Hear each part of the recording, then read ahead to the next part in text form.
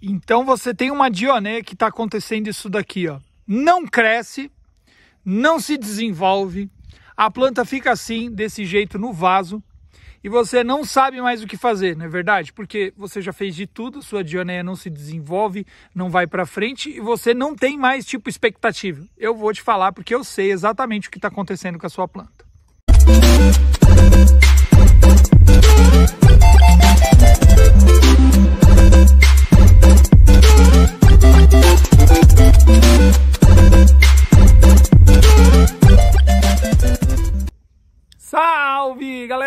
YouTube, galera do YouTube, do Facebook, do Instagram, ou seja lá onde foi que esse vídeo foi parar. Eu sou Rafael Ferrarese, o Mão de Urso, e aí? Bom, isso aqui é muito normal acontecer com a Dionéia muscípula, principalmente com quem tem Dionéia há muito tempo, ou se você comprou uma Dionéia de um garden, e eu vou contar uma triste realidade, é, não é todo garden, na verdade 90% deles não sabem cultivar plantas carnívoras, e eu vou te contar por que, que a sua dionéia não cresce? E eu vou te ensinar também como fazer a sua dionéia voltar a crescer novamente, se multiplicar, dar armadilhas novas, enfim. Então fica ligado nesse vídeo aqui até o final. Então, antes de mais nada, quero convidar você para deixar o seu like aqui nesse vídeo. Não esquece de se inscrever no nosso canal e ativar aquele sininho de notificação para não perder os próximos conteúdos. A gente agora tem é, conteúdos em short vídeos, né? Que é aqueles que você fica de arrasta para cima, né? É, existem vídeos no YouTube, no Instagram, uh, no Kawaii, no, no TikTok e também tem a nossa playlist lá no Spotify, onde você pode acompanhar tudo que você ouve lá no Universo das Carnívoras no Instagram. A playlist é bem legal. A última música é o tema da Vandinha. Se você viu esse vídeo até agora, então você sabe quando foi, né? Tem o tema da Vandinha lá, que é o Google Mug. É muito legal, uma música bem da hora, tá? Então, ah, e tem mais, galera. É, o que eu vou ensinar para você aqui hoje apesar de ser a solução para o seu problema, não descarta a possibilidade de você fazer o nosso curso de plantas carnívoras. Aqui exatamente embaixo desse vídeo tem um link que você clica sem compromisso nenhum. Clicou não vai comprar não, tá? Você clica e vê a nossa história. Você vai ver um pouquinho de como eu sou, por que, que eu comecei com, com plantas carnívoras, vai entender a minha história. Depois você vai ver o vídeo falando sobre o curso o que você vai aprender no curso de plantas carnívoras e todas as demais coisas que vão deixar você maluco. Esse curso contém mais de 10 módulos, tem aula de presente, tem aula de bônus, tem novidades, tem como multiplicar a dioneia. Já pensou você ter uma dioneia muscípula assim, ó? Olha só, essa daqui é pequenininha, né? Agora eu vou mostrar para você uma desse tamanho. Olha só o tamanho dessa planta, ó. Enorme, né? Já pensou você transformar a sua dionéia desse tamanhozinho aqui para esse tamanhozão aqui? Então, não perde a oportunidade de fazer o nosso curso. O nosso curso é online, a plataforma tem certificado, é muito bacana, é muito fácil. Basta você clicar aqui no link da biografia e ser direcionado para o nosso curso. Beleza? Então, bora lá, pessoal. Uh, então, uh, eu vou virar a câmera porque a estrela da história aqui é ela, tá? Mas eu vou dar uma pincelada aqui primeiro. Quando chega lá, não, eu vou virar, é melhor virar. E aí eu vou mostrar para vocês diretamente, vocês vão entender, tá? Então vamos lá. Bom, a gente está aqui, essa daqui é a minha mesa de plantas carnívoras, aqui são as sarracênias e aqui é a nossa dioneia, tá? No garden, às vezes, a, o garden muitas das vezes não é comandado pelo dono ele é comandado por funcionários. E você já sabe, né, gente? Nem sempre o funcionário cuida do jeito que, que tem que ser cuidado. O dono dá orientação, ou às vezes o cara entrou lá no garden, ele não teve orientação nenhuma de como cuidar das plantas. O dono só falou para ele rega. E ainda assim, qual é a bandeja que ele esquece de regar?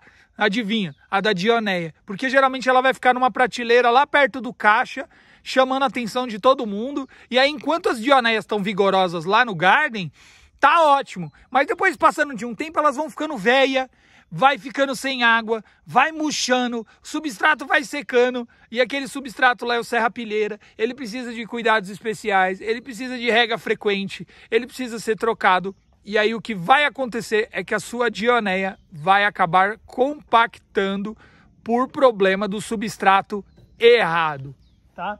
Então, o que, que, é que você faz? A Dioneia, nesse caso, chegou nesse ponto aqui e a gente vai analisar, tá? Uh, vamos lá.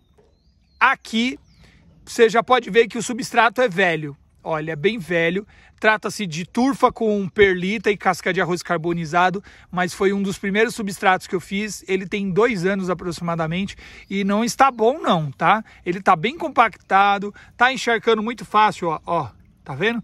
Encharca muito fácil, não tá drenado o suficiente e esse substrato não foi feito para ficar encharcado.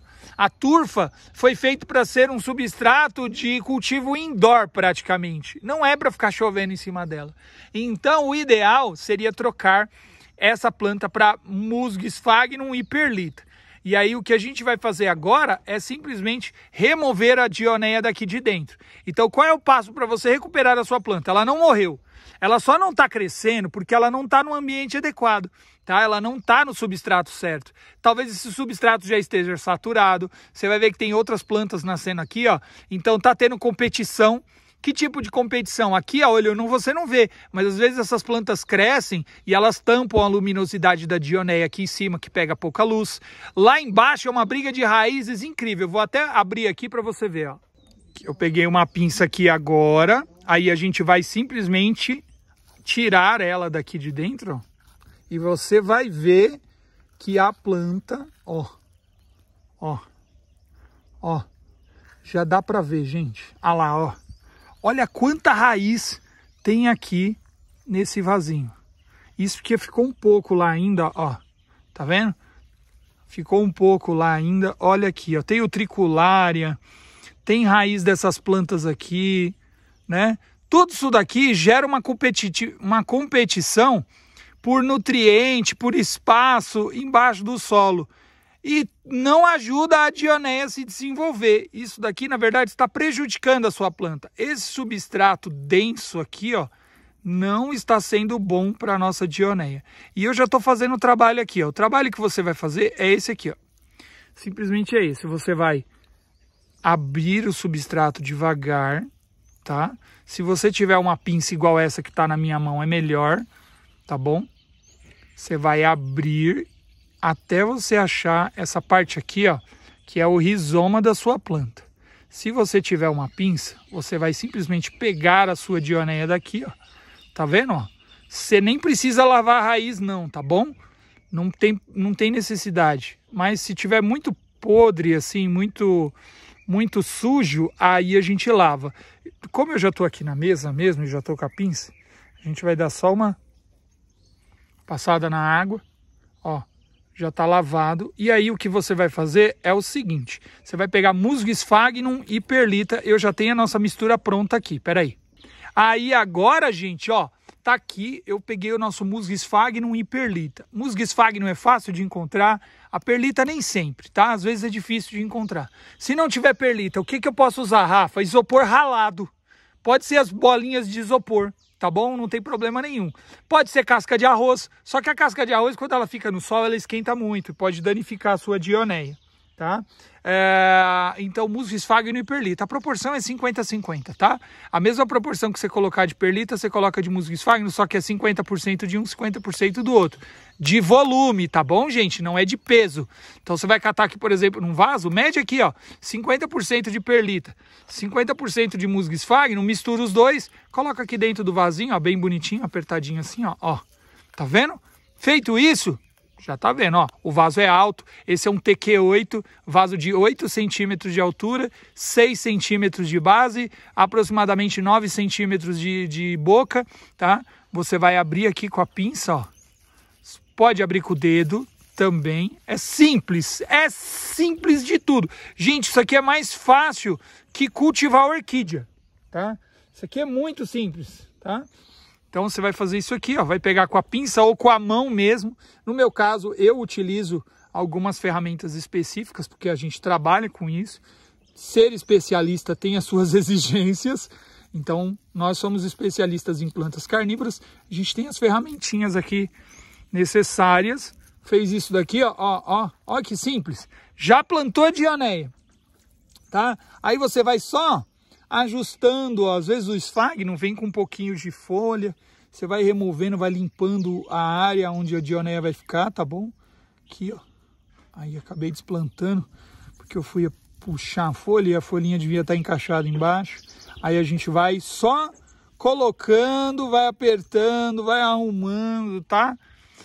Tomando cuidado para a sua dioneia não quebrar as raízes. Às vezes a gente aperta demais demais mesmo e acaba danificando as raízes, quebrando.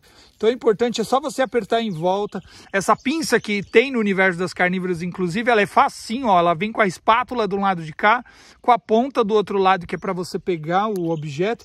Quem comprou já está na frente, já sabe do que eu estou falando. Falou, opa, eu já tenho. Então, parabéns, golaço. Se você fez o curso do universo das carnívoras, então, você está 10 casas na frente de todo mundo com toda certeza você já está muito mais do que especialista. E aí está pronto a sua dioneia plantada. Depois de aproximadamente... Ah, eu vou ser bem, bem, bem pessimista. Porque se eu fosse otimista eu ia falar 15 dias. Depois de uns 3 meses, a sua dioneia deve ficar aproximadamente assim, ó. Aí, gente, depois ela vai ficar... Essa daqui é bimbo. é uma planta mais top. Mas, ó, depois eu só peguei uma que está no mesmo tamanho. Depois de três meses, a sua dioneia deve ficar assim. E depois de aproximadamente... Peraí que eu vim pegar aqui de novo. Ai, ai. Com a temperatura certa e o clima certo, depois de um ano mais ou menos, a sua dioneia já vai estar desse tamanho aqui, tá bom? Plantado no substrato certo, no musgo esfagno. Você vai manter simplesmente a sua planta ó, aqui na nossa bacia com água, né, na nossa, no nosso cultivo. A gente tem essas mesas que vocês já conhecem e aqui as dioneias ficam aqui, ó. Um dedinho de água embaixo lá, ó, geralmente né, um pouquinho mais, porque choveu aqui. Então fica com água na parte de baixo e o musgo aqui na parte de cima. E elas tomam sol o dia inteiro. Fez isso daí, trocou, já era, gente. Sua planta vai para frente. O que não pode acontecer é a gente deixar a planta, muitas vezes, ó, eu vou pegar outra aqui, ó, que tá praticamente do mesmo jeito e já tem que ser trocado, tá? Ó, Vamos pegar uma outra para você não falar que é o tipo da Dioneia. Olha, essa daqui é a Marrom Monster. E olha só a situação... É Marrom Monster? Ah, eu acho que é Red Jones. E olha só a situação dela, ó. ó. Olha quanto mato tem aqui, ó. Dá até pra gente aproveitar o, a deixa, ó. E ir arrancando. As utriculárias também, ó. Você escolhe, você quer ter utriculário ou você quer ter Dioneia, tá? E aí, ó, tá vendo? Essa daqui já tem que trocar de vaso já tem que trocar de substrato. Ó. Esse substrato, ó, ele já tá bem, bem, bem zoado, ó. Tá vendo, ó? É velho, ó. Olha quanta raiz nascendo aqui, ó. Ah, mas a planta tá bonita. É, mas ela pode ficar mais bonita ainda se você fizer essa troca. Então, se o seu substrato já tem mais de dois anos, não esqueça de fazer isso, tá? Então, galera, se o seu substrato da sua planta já tem dois anos, um ano e pouco, e você já está reparando que ele está daquele jeito que eu te mostrei aqui, ó, e ele já está desse jeito aqui, já está na hora de você trocar o seu substrato, ele não vai durar para sempre. Se você utilizar musgo sphagnum com perlita, a chance desse substrato durar cinco vezes mais é muito maior porque a perlita aumenta a durabilidade do substrato, porque ele faz com que o substrato tenha mais respiração, tá? Ele fique mais drenado, é, existe a proliferação de bactérias boas aqui dentro que vão evitar a decomposição do, da matéria que está aqui dentro. Então, esse substrato, musgo esfagno e perlita, é excelente para dioneias. Se a sua planta tem mais de um, dois anos no mesmo substrato, talvez já seja a hora de você começar a pensar em fazer uma troca. Ainda mais se a sua planta tiver com o substrato já nessa situação. Às vezes não precisa nem um ano para ela chegar desse tamanho, mas para chegar desse jeito aqui, gente, é porque já está bem baleado. Eu garanto que tem mais de um ano que isso aconteceu tranquilos. Então é isso aí, espero que você tenha gostado dessa dica, uma dica muito fácil, rápido, uma aula bem legal que vai te ajudar a salvar a sua Dioneia aqui, olha, lembra de como ela estava? Olha só, Tava bem feinha naquele vasinho, né? Naquele substratinho. Agora ela só vai crescer. E vai crescer cada vez mais nesse vaso aqui. Essa daqui, gente, acabou que eu não coloquei o nome nela. Mas essa daqui é a famosa DCXL. Acreditem se você quiser. É a famosa monstra do pântano. Cresce bastante. A DCXL fica mais ou menos igual essa, essa Towering Giant aqui, ó com armadilhas aéreas e gigantescas. É uma planta bem legal também e a gente espera que ela atinja todo o seu vigor, que ela fique tão bonita quanto qualquer uma dessas outras plantas aí. Eu espero que você tenha gostado. Novamente eu quero te convidar para fazer o nosso curso de plantas carnívoras. Clica aqui embaixo no link, confere toda a nossa história de graça, vai assistir, vai ver como é que funciona. Gostou? Pode fazer no seu cartão de crédito, pode fazer no boleto, no Pix, eu acho que tem essa opção também. Para quem não gostar durante os sete dias, ah, cheguei antes de sete dias, não gostei do curso, o curso é 100% reembolsável, você pode pedir o seu dinheiro de volta não tem problema, tá? Eu garanto que você vai gostar demais do nosso conteúdo, tá? É sigiloso, não precisa falar para ninguém que você comprou. Faz o curso, se diverte e eu garanto que você vai ter uma experiência incrível aí na sua casa. Bom, pessoal, eu vou me despedindo de vocês. Um beijo, um queijo e até o próximo vídeo. Tchau, tchau, hein?